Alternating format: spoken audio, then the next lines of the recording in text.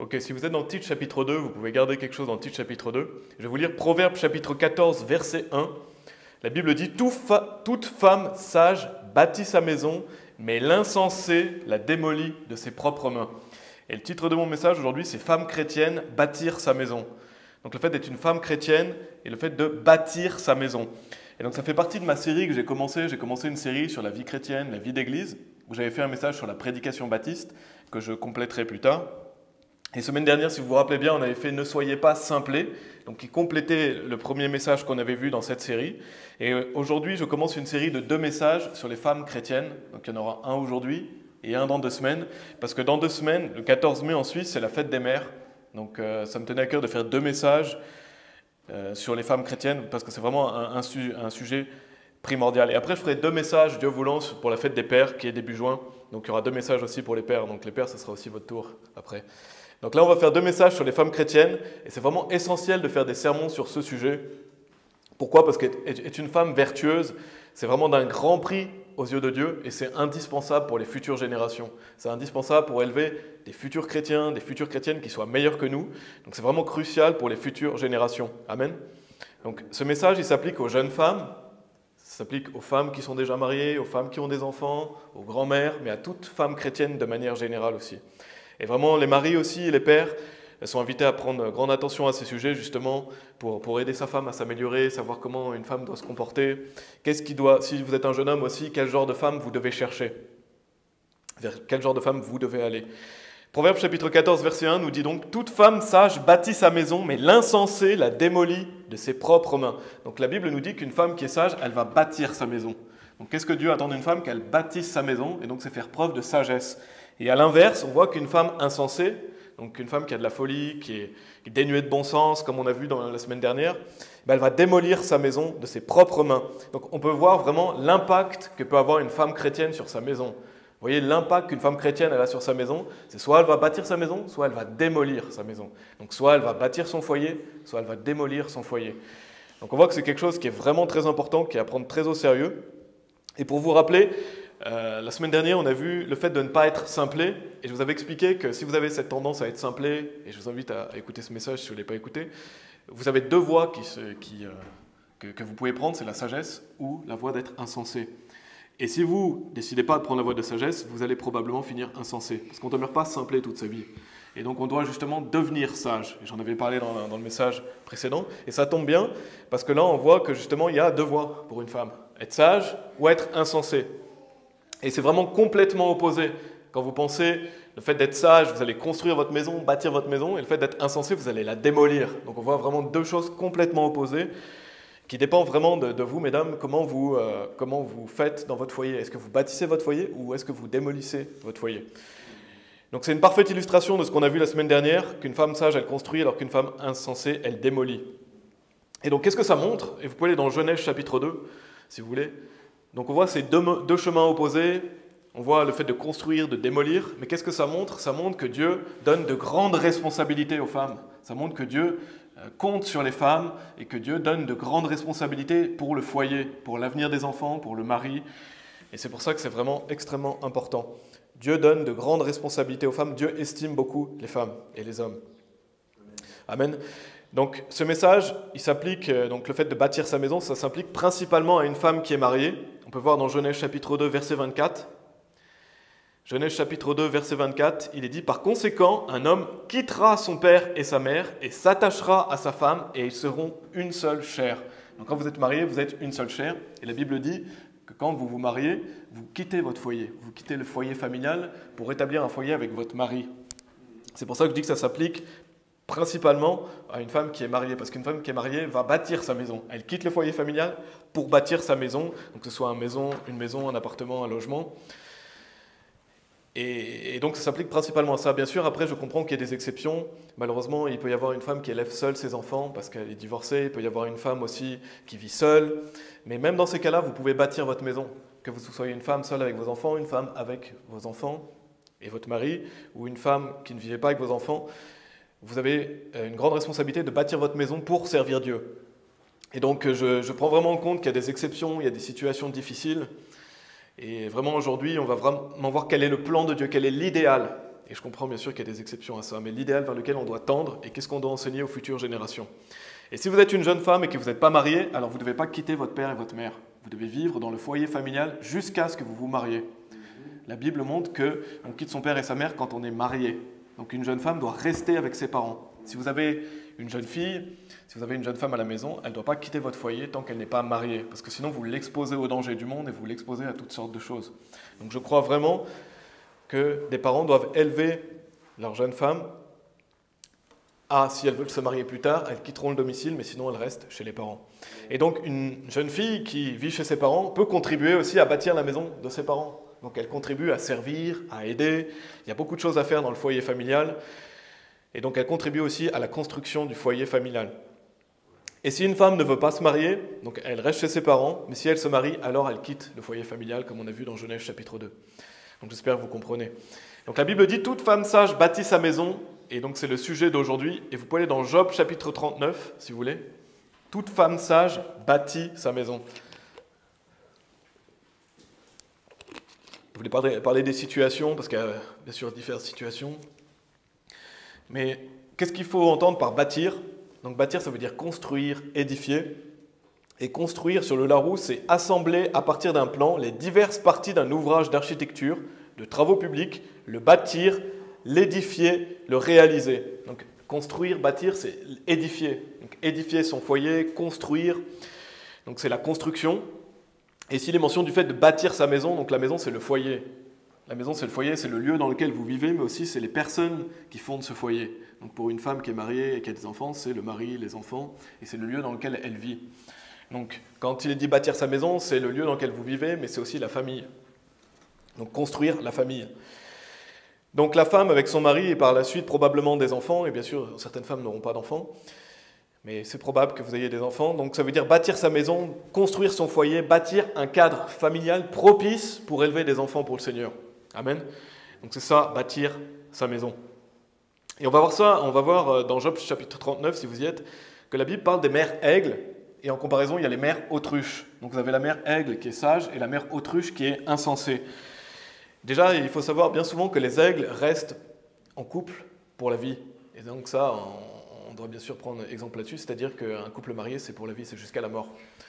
Amen. Donc quand on est marié, c'est jusqu'à la mort, et les aigles ont cette tendance à vivre unis jusqu'à la mort, justement, à avoir un seul partenaire. Et donc on voit dans Job chapitre 39, des versets 27 à 30, Job chapitre 39, versets 27 à 30, et vous allez voir pourquoi je parle de l'aigle. Il est dit, Est-ce à ton commandement que l'aigle s'élève et fait son nid dans les hauteurs? Elle demeure et habite sur le roc, sur la dent du roc et sur les lieux forts. De là, elle découvre sa proie et ses yeux la regardent de loin. Ses petits aussi sucent le sang et là où sont les corps morts, elle y est. Donc on voit qu'ici la, de la mère aigle. Et je vais vous lire Deutéronome chapitre 32 verset 11. Il est dit comme l'aigle agite sa nichée, survole au-dessus de ses petits, étend ses ailes, les prend et les porte sur ses ailes. Donc on voit que la mère aigle, elle, elle habite sur le roc. Et ça symbolise quoi? Ça symbolise le fait qu'une mère chrétienne doit bâtir sur le roc. Le roc, c'est la Bible, c'est Jésus-Christ, c'est Dieu. Et je vais y revenir un peu plus tard. Mais on voit cet excellent exemple que la mère aigle, elle habite, elle demeure et habite sur le roc. Donc elle a une surfondation, elle a une fondation solide. Et il est dit, elle fait son nid dans les hauteurs et agite sa nichée. Donc on voit cette notion de nid, de nichée, donc qui fait penser au foyer, à la maison. Donc on voit qu'elle prend soin de son foyer, elle fait son nid dans les hauteurs. Il est dit, de là, elle découvre sa proie et ses yeux la regardent de loin. Donc la mère aigle, elle a une vision. Donc qu'est-ce que ça symbolise? Ça symbolise qu'une mère chrétienne doit avoir une vision pour ses enfants. Donc elle doit penser à l'avenir de ses enfants. Où est-ce que mon enfant, euh, vers où, euh, en fonction de l'éducation que je donne à mon enfant, où est-ce qu'il va aller? Où est-ce qu'il va aller? Comment je l'éduque? Comment il va finir? Qu'est-ce qui va lui arriver? Que ce soit un garçon, une fille ou les deux? Elle a une vision, donc elle pense à l'avenir de ses enfants. Elle sait qu'en éduquant ses enfants petits, elle sait qu'en prenant soin de ses enfants, eh ben, il y a de plus grandes chances que ses enfants soient bien plus tard. Elle veut vraiment construire son foyer et avoir des enfants pour servir Dieu. Donc c'est le fait de voir loin. En fait, une mère aigle, elle, elle sait que ce qu'elle fait maintenant, ça va impacter le futur de ses enfants. Elle a une vision. Et elle réalise que ses enfants appartiennent à Dieu. Parce que tous les enfants que vous avez, ils appartiennent à Dieu. Donc élevez vos enfants pour Dieu. Quand vous réalisez que votre enfant, il appartient à Dieu, vous allez l'élever d'une manière différente. Dieu vous a confié vos enfants.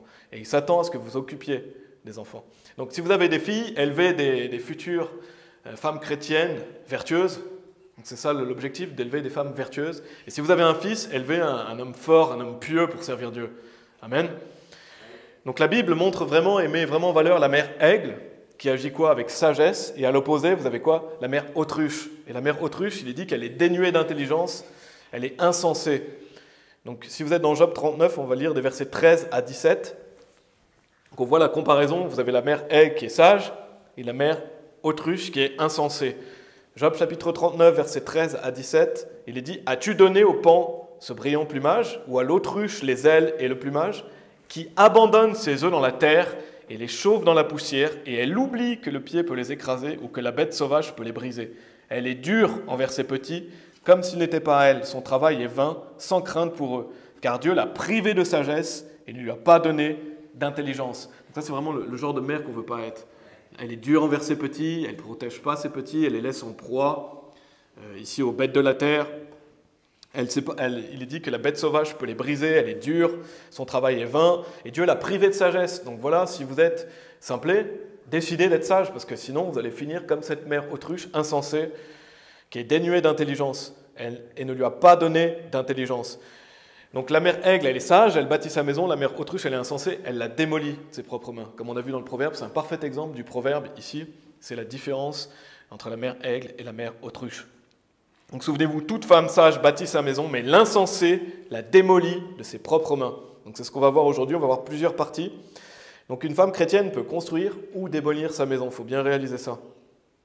Donc on va voir trois manières justement, enfin trois notions fondamentales pour être une femme chrétienne qui bâtit sa maison. Et vous pouvez dans Matthieu chapitre 7, Matthieu chapitre 7,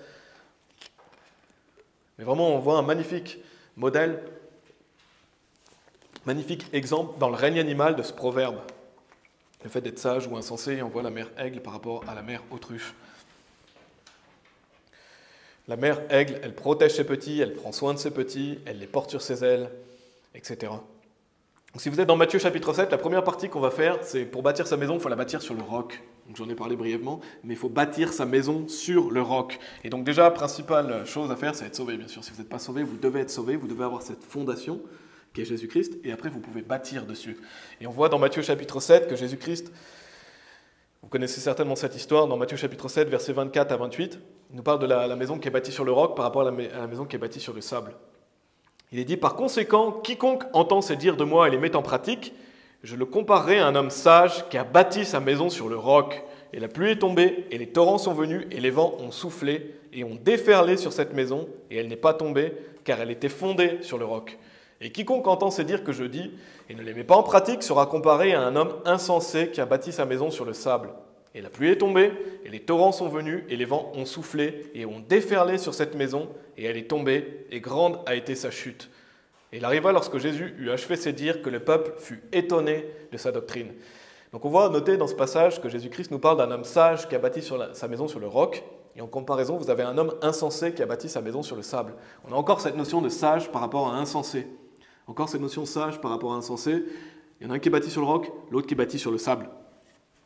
Et comme j'ai dit, si vous êtes simplet, justement, devenez sage, sinon vous allez devenir insensé, vous allez construire votre maison sur le sable. Et nous, on veut construire notre maison sur le roc. Et j'en avais parlé dans le précédent message. Donc, une femme sage qui bâtit sa maison, elle le fait sur le roc, une femme insensée, elle le fait sur le sable. Et donc, bâtir sur le roc, notez ce qu'il est dit, il est dit quiconque entend ces dires de moi et les met en pratique. Donc, comment on bâtit sur le roc? C'est quand on bâtit sur la Bible. On écoute la parole de Dieu, on écoute des prédications, on lit la Bible et on fonde notre vie sur la parole de Dieu. C'est comme ça bâtir sur le roc.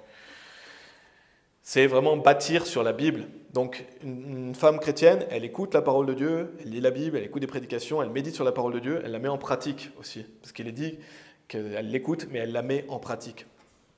Et donc, euh, voilà, si vous êtes une mère au foyer, c'est très important de bâtir votre vie sur la Bible. Et bien sûr, je peux comprendre que si vous êtes une mère et que vous avez des enfants en bas âge, vous avez moins de temps pour lire la Bible qu'un homme célibataire. Vous avez moins de temps devant vous, vous vous occupez des enfants, mais c'est important de prendre ce temps-là. Et si vous avez des moments où vous avez moins de temps, vous pouvez écouter la Bible. Vous pouvez écouter la parole de Dieu, comme ça vous pouvez faire d'autres choses en même temps. Donc dans la mesure du possible, c'est très important d'écouter la parole de Dieu, de prendre un temps pour lire la Bible. Et bien sûr, quand une mère est occupée, elle a moins de temps qu'un homme célibataire. Mais vraiment prenez du temps pour ça. Et donc il est dit, quand la pluie est tombée, et les torrents sont venus, et les vents ont soufflé et ont déferlé sur cette maison, ben cette maison, elle ne va pas tomber, elle est fondée sur le roc. Donc ça veut dire que une femme sage qui a bâti sa maison, quand les persécutions arrivent, les difficultés, les tribulations arrivent et frappent la maison, ben elle demeure ferme, elle est stable. Parce qu'elle n'est pas sur le sable, elle n'est pas sur quelque chose de mouvant, elle est fondée sur la parole de Dieu. Elle n'est pas effrayée par les mauvaises nouvelles, elle a confiance en Dieu, elle sait que Dieu lui a donné des promesses, et donc elle a confiance dans le fait que Dieu la protège et veille sur son foyer. Donc c'est pour ça que c'est très important de fonder sur le roc, parce que quand les difficultés arrivent, vous n'allez pas chuter, vous n'allez pas tomber comme la maison qui est sur le sable. Et vraiment c'est très important parce que ça change tout, c'est vraiment le foyer qui est en jeu. Hein. Réalisez bien que votre foyer est en jeu. Une femme, elle peut bâtir sa maison ou la démolir. Donc si vous êtes fondé sur le roc, c'est la vie de tout votre foyer qui est en jeu. Et donc c'est une grande responsabilité. A l'inverse, une femme insensée, donc qui a bâti sa maison sur le sable, donc c'est quelque chose qui n'est pas stable, c'est quelque chose de mouvant. Donc c'est par exemple une femme qui bâtit sa maison sur les choses du monde, qui euh, fonde sa vie sur les choses du monde, euh, qui, qui marche dans la chair, qui n'écoute pas la parole de Dieu, elle ne met pas en pratique la parole de Dieu eh ben, sa maison est bâtie sur le sable. Donc quand les difficultés arrivent, quand vous avez des difficultés, des persécutions, des tribulations, ben, la maison, elle chute. Et la Bible dit grande et ça chute. Donc ça, c'est une mère qui ne veut pas écouter la Bible, qui veut faire les choses selon son propre cœur, ou qui écoute des mauvaises personnes et met en pratique des mauvaises choses. Ben, malheureusement, le foyer peut s'écrouler. Donc c'est pour ça que c'est extrêmement important de fonder sa maison sur le roc. Donc la priorité pour une femme chrétienne, première chose, fondez votre maison sur le roc. Fondez votre maison sur la Bible, les commandements de Dieu, la parole de Dieu, et laissez la Bible dicter vos choix. Laissez la Bible dicter vos choix en tant que comment enseigner vos enfants, comment s'occuper de vos enfants, euh, comment les éduquer, comment prendre soin d'eux. Et ça, c'est pour le bien de sa maisonnée. Vous pouvez aller dans Josué chapitre 24, si vous voulez. Josué chapitre 24.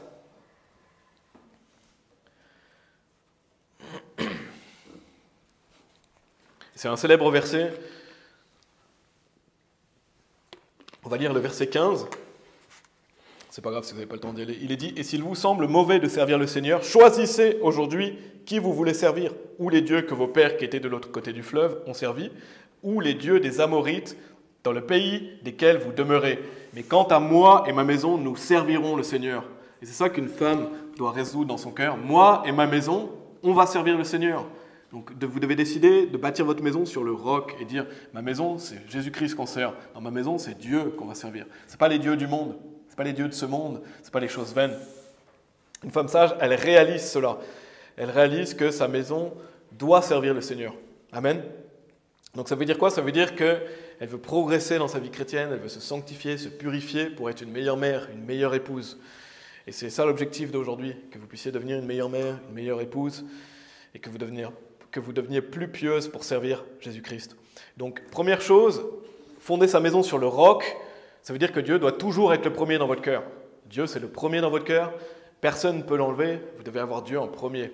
Dieu est le premier. Et si vous vous demandez quel est le but de la vie, peut-être que vous posez cette question, bah, c'est Dieu. Dieu, c'est le but de la vie. Quel est le but de votre vie? C'est Dieu. C'est tout. Dieu est le but de votre vie. Et donc, c'est le mettre en premier. Donc premier point, comment bâtir sa maison de manière solide et stable sur le roc? Deuxième chose, vous pouvez retourner dans Tite chapitre 2, on l'a lu en début de sermon, avant le sermon. Donc bâtir sa maison sur le roc. Deuxième chose, aimer son mari. Le fait d'aimer son mari. Donc après Dieu, une femme, elle doit mettre qui dans son cœur? Son mari. C'est Dieu, son mari et ses enfants, et après les autres. Dieu, son mari, ses enfants, et après les autres. Très important de mettre votre mari juste après Dieu. Vos enfants ne doivent pas être au-dessus de votre mari. Toujours mettre votre mari avant vos enfants et votre mari après Dieu. Et il doit le rester. Donc quand vous bâtissez votre maison, vous bâtissez votre maison pour votre mari aussi. Titre chapitre 2, versets 3 à 5. Il est dit, les femmes âgées de même, qu'elles soient dans leur conduite comme il convient à la sainteté, non médisantes, non à donner à beaucoup de vin, enseignantes de bonnes choses, afin qu'elles puissent enseigner aux jeunes femmes à être modestes, notez ce qu'il est dit, à aimer leur mari, à aimer leurs enfants, à être discrètes, chastes, femmes au foyer, bonnes, obéissantes à leur propre mari, afin que la parole de Dieu ne soit pas blasphémée. Donc on voit qu'une femme âgée, elle doit enseigner aux jeunes femmes à aimer leur mari. Donc si vous êtes une femme plus âgée, enseignez aux, sœurs, aux jeunes femmes à aimer leur mari. Donc ça veut dire quoi? Ça veut dire que, c'est ce qu'on va voir aujourd'hui, qu'une femme doit être obéissante, soumise à son mari, enfin on va le développer après. C'est très important d'aimer son mari. Donc Dieu veut que les couples s'aiment, Dieu veut que le mari et la femme s'aiment, Dieu veut que le mari et la femme soient unis, c'est une seule chair quand vous êtes mariés. C'est la personne la plus importante dans votre vie après Dieu, c'est votre mari ou votre femme. Et j'ai déjà fait un message qui s'appelle La beauté du mariage, donc je ne vais pas tout développer aujourd'hui parce qu'il y a beaucoup à dire. Mais vraiment, euh, mesdames, réalisez que si vous voulez bâtir votre maison de manière sage, il faut aimer votre mari. Il faut aimer votre mari, donc voyez les bons côtés de votre mari. Parce que votre mari, il a des erreurs, il a des péchés, c'est sûr, parce qu'on est, on tous pécheurs. Mais regardez les bons côtés de votre mari, aimez votre mari, soutenez-le, aidez-le à progresser. Et c'est pareil pour un homme. Il doit regarder aussi les bons côtés de sa femme et, l'aider à progresser, l'accompagner. Donc bien sûr, vous pouvez dans Éphésiens chapitre 5, le mari c'est le chef de la maison. Le mari c'est le chef de la maison, c'est lui qui dirige la maison. Donc une femme doit obéir à son mari en toutes choses. On voit ça dans Éphésiens chapitre 5. C'est pour ça que je dis aimer leur mari ça passe par plusieurs choses. Donc, comment montrer de l'amour à votre mari? Première chose, en étant obéissante à votre mari. Donc, comment vous pouvez montrer de l'amour envers votre mari en étant obéissante? Un mari aime que sa femme soit obéissante. Il est dit, Ophésiens chapitre 5, verset 24, Par conséquent, comme l'Église est soumise à Christ, de même que les femmes le soient aussi à leur propre mari en certaines choses. C'est ça qu'il dit? Il est dit en toutes choses. Une femme doit être obéissante à son mari en toutes choses. Pourquoi? Parce qu'il y a une autorité dans la maison. Il y a une autorité, c'est le père, la mère et les enfants. Et Dieu a donné une autorité. Donc si vous n'êtes pas content, voyez ça avec Dieu. Parce que Dieu nous a dit comment il fallait faire. Et quand Dieu nous dit ça, c'est pour notre bien. Et de même, Christ est soumis au Père. Donc il y a même une chaîne d'autorité aussi avec le Père et le Fils. Et ça ne veut pas dire qu'une femme a moins de valeur qu'un homme, ça ne veut pas dire qu'une femme a moins de valeur aux yeux de Dieu qu'un homme, pas du tout. Simplement, l'homme et la femme ont des rôles différents, ils sont complémentaires et il y a une autorité. Parce que Jésus-Christ est autant Dieu que le Père. Pourtant, Jésus-Christ est soumis au Père. De même, une femme soumise à son mari, ça ne veut pas dire qu'elle a moins de valeur ou qu'elle est moins importante, ça veut simplement dire que Dieu a donné des rôles et Dieu veut qu'un couple soit complémentaire pour le bien du foyer. Et donc l'homme et la femme ont des rôles différents et sont complémentaires. Et c'est ça qui va amener le vrai bonheur dans le foyer. Si vous voulez le vrai bonheur, si vous voulez la paix dans le foyer, il faut suivre la parole de Dieu. Donc écoutez pas les féministes qui vont euh, pervertir cette notion d'autorité et qui vont reprendre par exemple, si on reprend Proverbe chapitre 14 verset 1, où la Bible dit toute femme sage bâtit sa maison, mais on pourrait dire mais la féministe la démolit de ses propres mains. Si vous êtes féministe, vous allez démolir votre maison. Vous allez parce que vous êtes insensé. Et, là, j'ai changé le verset parce que c'est l'insensé, mais si vous êtes féministe, il faut changer. Parce que c'est être insensé. Dieu a donné une autorité dans le foyer, c'est le Père, et Dieu sait ce qui est mieux pour vous. Dieu veut la prospérité du foyer. Qui croit ici que Dieu veut le bonheur et la prospérité du foyer? Vous croyez ça? Bah, Si vous croyez ça, vous sachez que Dieu dit que la femme doit obéir à son mari.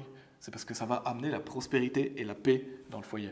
Éphésiens chapitre 5, verset 24. Par conséquent, comme l'Église est soumise à Christ, de même que les femmes le soient aussi à leur propre mari en toutes choses. Donc Dieu sait ce qu'il y a de mieux, Dieu sait que vous devez vous fonder sur le roc et Dieu sait qu'une femme doit aimer son mari et ça passe par l'obéissance. Pour aller dans Éphésiens chapitre 5, si vous êtes toujours, on va lire les versets précédents.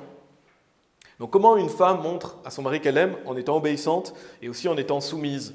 Ça va de pair. C'est versets 22 et 23 d'Éphésiens chapitre 5.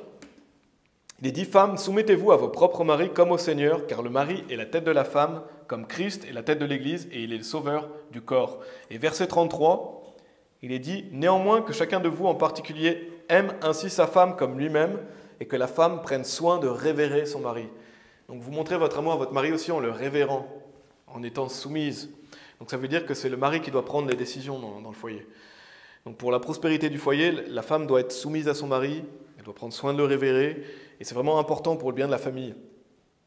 Donc laissez votre mari diriger la famille, soyez son aide, son soutien, et réalisez que votre mari va faire des erreurs. Votre mari va faire des erreurs, il va se tromper, votre mari est un pécheur, il va prendre parfois des mauvaises décisions, mais soyez là pour lui et pour vos enfants. Et donc c'est pour ça que c'est important de communiquer entre vous. Et donc n'ayez pas cet esprit querelleur. Ça, je vais en parler dans un prochain message. Vous pouvez aller dans Proverbe chapitre 31. Proverbe chapitre 31. Donc comment montrer de l'amour à vos maris En étant obéissante, en étant soumise? Réalisez que votre mari va se tromper, réalisez qu'il va prendre des mauvaises décisions, mais soyez là pour le soutenir, pour l'aider. Et euh, vraiment, c'est extrêmement important pour le bien de la famille.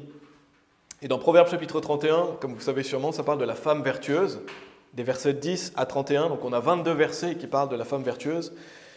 Et quand vous lisez Proverbe 31, c'est vraiment un idéal. C'est un idéal, comme un standard de perfection. Euh, c'est-à-dire que, voilà, mesdames, si vous lisez ça, ne soyez pas découragés en lisant ça. Parce que ça paraît un, idéal, ça paraît impossible à atteindre, parce que c'est vraiment la femme parfaite. C'est la, femme vertueuse, c'est l'idéal à atteindre. Vous ne devez pas lire ce chapitre en vous disant Ah, moi, je n'y arrive pas, je ne peux pas y arriver, c'est trop dur. Non, vous devez voir ce chapitre plutôt comme quelque chose vers lequel vous devez tendre. Euh, comme, voilà, quand vous lisez ça, vous voulez vous améliorer pour être encore une femme plus vertueuse.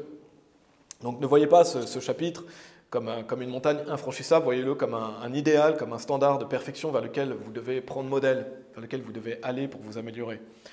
On va lire des versets 10 à 12 dans Proverbe 31.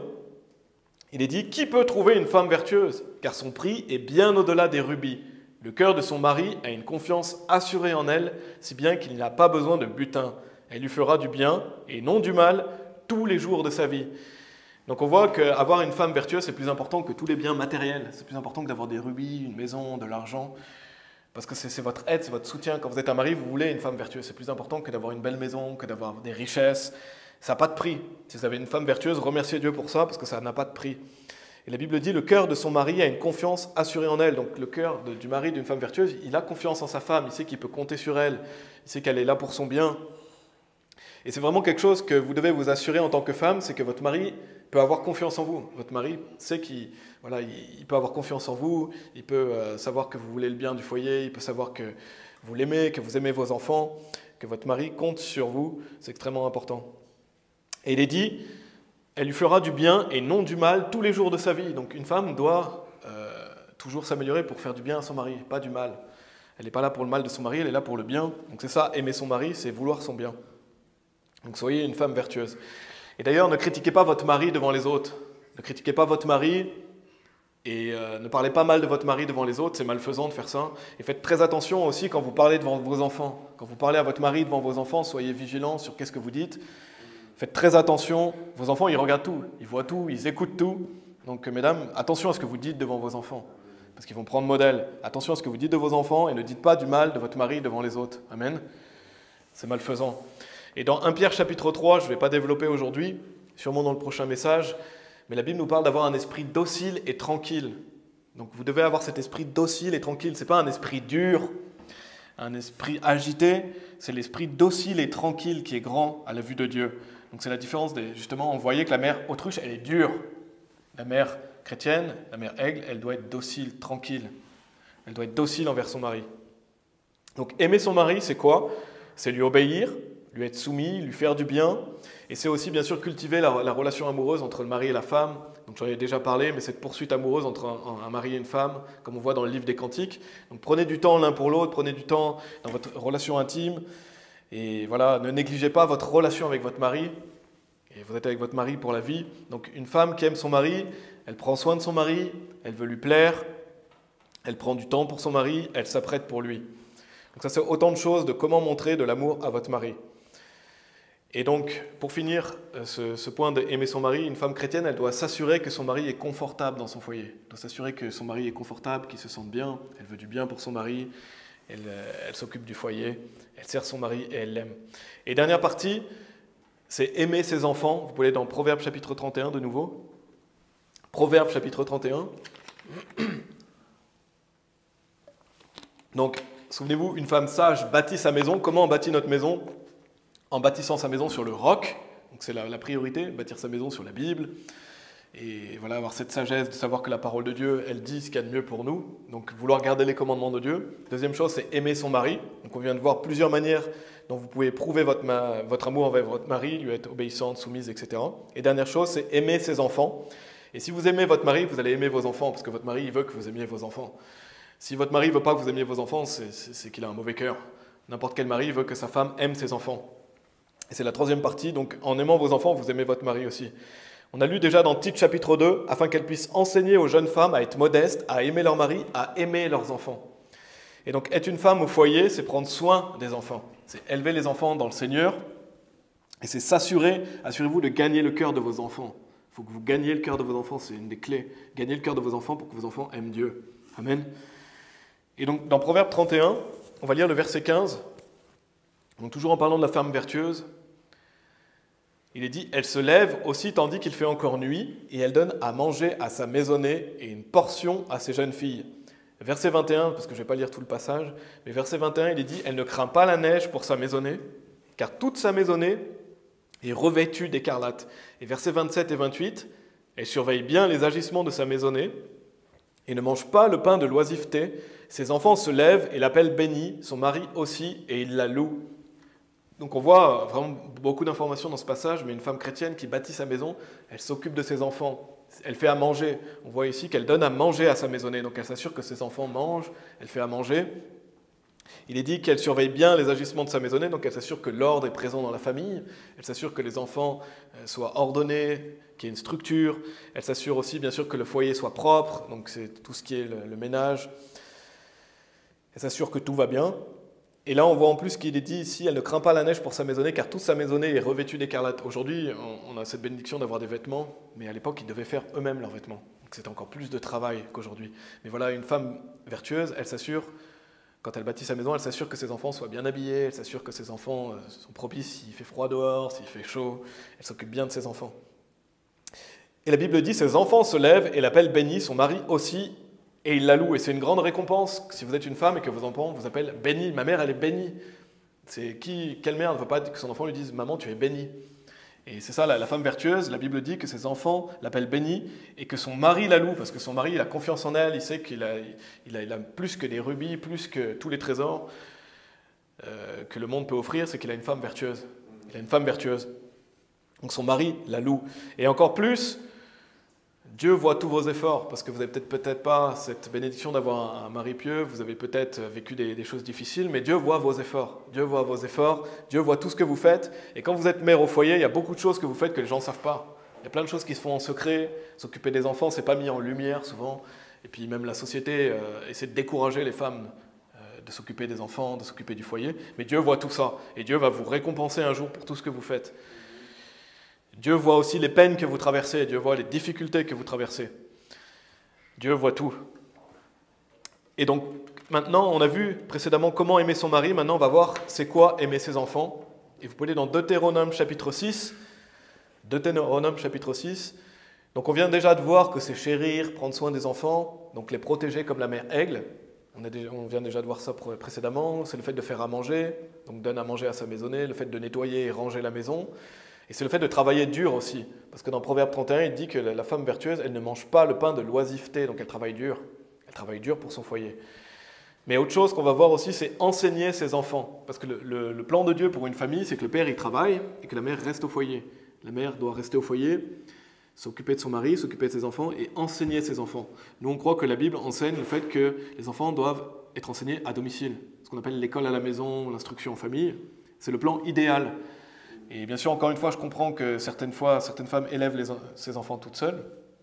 Mais le plan idéal pour une famille, c'est que la mère s'occupe de l'enseignement des enfants. Ce qu'on appelle l'école à la maison. C'est vraiment le, plan idéal, ce qu'on appelle l'instruction en famille, l'école à la maison. Et donc, je vais vous lire simplement encore Tite chapitre 2, verset 4, avant d'aller dans Deutéronome chapitre 6. Mais on avait vu, afin qu'elle puisse enseigner aux jeunes femmes. Donc, on voit enseigner aux jeunes femmes. Une femme plus âgée, elle enseigne aux jeunes femmes. Et donc c'est très important pour les parents d'instruire les enfants. Deutéronome chapitre 6, versets 6 et 7, il est dit, Et ces paroles que je te commande aujourd'hui seront dans ton cœur, et tu les enseigneras soigneusement à tes enfants. Et tu en parleras quand tu seras assis dans ta maison, quand tu marcheras en chemin, et quand tu te coucheras, et quand tu te lèveras. Et donc la Bible nous montre ici que d'enseigner les lois de Dieu, enseigner la parole de Dieu à ses enfants, c'est quelque chose qu'on doit faire tout le temps. Il est dit, quand tu es assis dans ta maison, quand tu marches en chemin, quand tu te couches, quand tu te lèves, la parole de Dieu, elle, doit être le sujet principal du foyer. Donc une mère au foyer, elle enseigne ses enfants dans la Bible. Dès tout jeune, elle leur enseigne les principes bibliques, elle lit la Bible avec ses enfants, elle leur enseigne la Bible. Il est dit, tu les enseigneras soigneusement à tes enfants. Et justement, le fait de faire l'école à la maison, c'est propice à ça. C'est propice à ça parce que vous êtes avec vos enfants. C'est propice à les éduquer dans la parole de Dieu. C'est propice à leur donner des valeurs chrétiennes, des vertus. Et donc, bien sûr, c'est pas seulement ça, parce que c'est aussi apprendre toutes les matières académiques, soit le français, euh, que ce soit les langues étrangères, les mathématiques. Donc tout ça, ça fait partie de l'instruction d'un enfant, mais il y a aussi l'instruction de la parole de Dieu, l'instruction de la Bible, et le fait de faire l'école à la maison, c'est vraiment propice à ça. Et c'est propice à ça de faire l'enseignement à la maison, mais c'est aussi propice à diminuer les mauvaises influences, parce que quand vous allez à l'école, vous avez des mauvaises influences. Vos enfants peuvent traîner avec les mauvaises personnes, ils peuvent euh, recevoir des, mauvais conseils, écouter des, des, mauvaises personnes. Et donc le fait de faire l'école à la maison, vous protégez vos enfants de toutes ces mauvaises influences, et puis en plus de tout ce qu'ils apprennent de mal aussi. Tout ce qu'ils apprennent de mal, toutes les personnes qui pourraient avoir des, mauvais, des mauvaises influences sur eux. Donc c'est vraiment un excellent moyen de protéger vos enfants, c'est de faire l'école à la maison. Ça, ça c'est un sermon pour un autre jour. Mais donc, une femme chrétienne, elle bâtit sa maison en enseignant, instruisant ses enfants, et justement, elle équipe ses enfants pour servir Dieu. Vous voulez dans 1 Timothée chapitre 5 1 Timothée chapitre 5. Donc, c'est quoi aimer vos enfants? C'est les chérir, prendre soin d'eux, les protéger, faire à manger, nettoyer la maison, travailler dur. C'est aussi les enseigner, mais c'est aussi diriger sa maison. Et l'une des qualifications pour être un pasteur, dans 1 Timothée 3, si vous voulez être un pasteur, c'est qu'il dirige bien sa propre maison, ayant ses enfants soumis avec toute gravité. Donc, et ça s'applique pour tout le monde, vous devez avoir vos enfants soumis avec toute gravité. Donc vos enfants doivent vous être soumis. Et quand le père est là, c'est l'autorité de la famille, mais quand le père n'est pas là, c'est la mère, ce n'est pas les enfants, l'autorité de la famille. C'est la mère qui est l'autorité de la famille, qui dirige la maison quand le père n'est pas là. Et donc ces enfants doivent, doivent être soumis. Ces enfants doivent craindre leur mère. Ayant ces enfants soumis avec toute gravité. Donc si vous êtes dans 1 Timothée chapitre 5, on va lire le verset 14.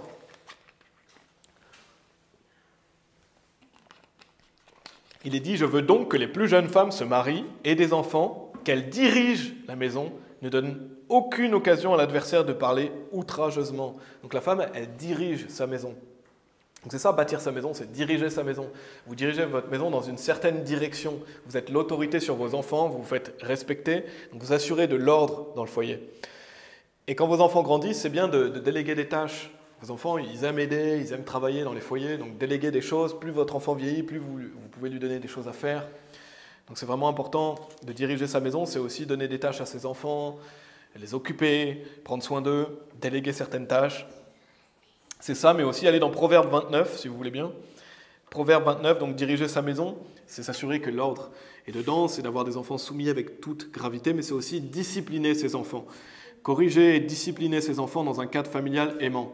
Bien sûr, c'est avec amour, mais si on aime nos enfants, on les discipline. Ce que dit la Bible, si vous ne les disciplinez pas, c'est que vous ne les aimez pas. Donc si vous aimez vos enfants, vous les disciplinez. C'est indispensable. J'en ai déjà parlé, donc je ne vais pas développer euh, euh, trop ça, mais je vais vous donner quelques versets.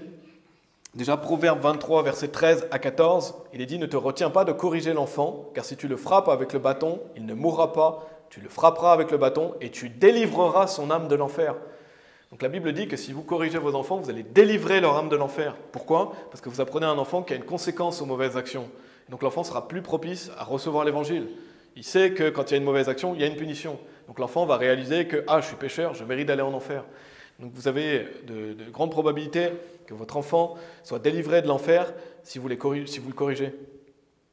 Et Proverbe chapitre 29, verset 15, il est dit, le bâton et la réprimande donnent la sagesse, mais un enfant livré à lui-même fait honte à sa mère. Donc si vous voulez pas que votre enfant vous fasse honte, il faut le bâton et la réprimande pour l'enfant, parce que ça donne la sagesse. La Bible dit que la folie est dans le cœur de l'enfant. Je paraphrase, mais le bâton de la correction l'éloigne loin de lui. Donc c'est vraiment indispensable qu'il y ait une discipline, une correction pour les mauvaises actions, et l'enfant va apprendre la sagesse. Le bâton et la réprimande donnent la sagesse. Et il va apprendre que s'il fait des mauvaises actions, il y a une conséquence. Il y a une conséquence aux mauvaises actions. Je vais vous lire Proverbe chapitre 19, verset 14 aussi. Il est dit Maison et richesse sont le patrimoine des pères, et une femme prudente vient du Seigneur. Et je comprends qu'il y a des situations difficiles. Encore une fois, il y a des situations difficiles. Peut-être que vous n'avez pas d'enfants, ou vous voyez peu vos enfants, mais vous pouvez être une bénédiction de la meilleure manière possible, c'est-à-dire même en les voyant peu, vous pouvez être une bénédiction en les voyant peu, vous pouvez être une bénédiction, et puis vous pouvez être une bénédiction aussi pour le, groupe. Il est dit que les femmes âgées enseignent les jeunes femmes. Donc si vous êtes une femme sans enfant, ou voilà, si, vous avez du temps, c'est très important d'être un encouragement pour les mères chrétiennes qui sont ici, d'aider, de servir, et euh, de, donner ce que vous pouvez pour les, futures générations. Et c'est vraiment extrêmement important, faites tout votre possible pour être une bénédiction, par exemple, pour les sœurs dans l'Assemblée, pour être une bénédiction pour l'Assemblée aussi, parce que nous, on est un groupe, on n'est pas une église, mais on fonctionne comme une église, et une église, c'est la maison de Dieu. Donc, euh, on veut bâtir quelque chose de solide ici. On veut que Dieu bâtisse son Église. Et donc, vous, pouvez contribuer ici à bâtir euh, là où le lieu où on se réunit, à servir, à aider dans une assemblée. Donc, pour résumer, aimer ses enfants, c'est les chérir, les protéger, préparer à manger, s'occuper de la maison, enseigner ses enfants, comme on a vu, diriger sa maison, discipliner ses enfants. Et dans Luc chapitre 1, je vais vous lire le verset 17, il est dit Et il ira devant lui dans l'esprit et le pouvoir d'Élie pour tourner les cœurs de vos pères, pardon, des pères vers les enfants et les désobéissants à la sagesse des justes, afin de préparer un peuple prédisposé pour le Seigneur. Et ça parle de Jean le Baptiste. Il est dit qu'il tournait les, cœurs des pères vers les enfants. C'est pour ça que j'ai dit gagner le cœur de vos enfants quand ils sont petits. Il faut aimer, chérir vos enfants et gagner le cœur de vos enfants afin qu'ils puissent servir Dieu. Et on voit que Jean-Baptiste, il tournait le cœur des pères vers les enfants. Et qu'est-ce que vous voulez le plus pour vos enfants? Posez-vous cette question, quelle est la chose la plus importante pour votre enfant? Est-ce que vous savez déjà quelle est la chose la plus importante pour vos enfants? Moi, je sais quelle est la chose la plus importante pour mes enfants, c'est qu'il aime Dieu, tout simplement. C'est ce que je dis à ma fille, la chose la plus importante dans la vie, c'est que tu aimes Dieu. Et vous devez dire à vos enfants, c'est la chose la plus importante. Moi, c'est qu'est-ce que je demande à, mon enfant, c'est qu'il aime Dieu. Parce que s'il aime Dieu, tout le reste va avec. Si vous, si vous, aimez Dieu, vous allez aimer votre prochain, vous allez aimer, si vous êtes marié plus tard, vous allez aimer votre mari, vous allez aimer vos enfants, vous allez garder ses commandements. Donc le plus important, c'est d'aimer Dieu. Amen. Donc enseignez à vos enfants à aimer Dieu. Enseignez vos enfants à aimer Dieu et réalisez que vos enfants ne vous appartiennent pas, ils appartiennent à Dieu. Ils appartiennent véritablement à Dieu. Dieu vous a confié ses enfants, donc oui, c'est vos enfants, mais ils appartiennent à Dieu avant tout. Allez dans Psaume 113, si vous voulez bien. Psaume chapitre 113.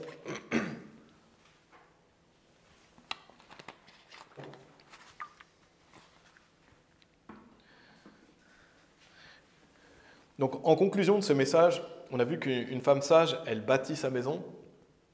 Donc on a vu l'exemple de la mère aigle et de la mère autruche. Donc justement, ne surtout pas être insensé, de bâtir sur le sable. Euh, la, mère autruche qui, délaisse ses enfants. Donc euh, mesdames, c'est important de grandir en, sagesse. Grandissez en sagesse afin de bâtir votre maison, de bâtir sa maison sur le roc. Et c'est vraiment une magnifique responsabilité que Dieu donne aux femmes, c'est de, bâtir la maison. La femme sage bâtit sa maison, de construire son foyer, construire l'avenir des enfants, aimer son mari, s'occuper de son mari, s'occuper de ses enfants. C'est une grande tâche. Et c'est vraiment une tâche peut-être que le monde néglige, mais un chrétien ne néglige surtout pas ça. la Bible dit que c'est même plus important d'avoir une femme vertueuse que d'avoir des rubis. Donc euh, un homme vertueux, il veut avoir une femme vertueuse, il veut que sa femme s'occupe de ses enfants et élève des futures générations. Et c'est vraiment une, grande joie d'être une mère chrétienne. On le voit dans Psaume 113, verset 9. Il est dit, il fait que la femme stérile tienne une maison et soit une joyeuse mère d'enfants. Louez le Seigneur. Donc c'est une grande joie et vous devez toujours vous réjouir parce que des fois c'est difficile d'être une mère au foyer. Mais réjouissez-vous d'avoir des enfants, réjouissez-vous d'être une femme chrétienne. Amen.